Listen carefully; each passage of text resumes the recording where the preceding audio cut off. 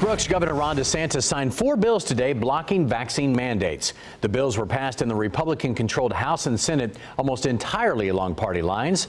The main bill allows private sector employees to avoid vaccine requirements if they provide medical or religious reasons or prove they have immunity from COVID 19. Nobody in Florida should be losing their job over these jabs. We want people to be able to work. We want people to be able to provide for their families. We want people to be able to have livelihoods. And, and that's just the way it's going to be in this state. Employees could face fines up to $50,000 per violation if they violate this new proposed provision. Turkey prices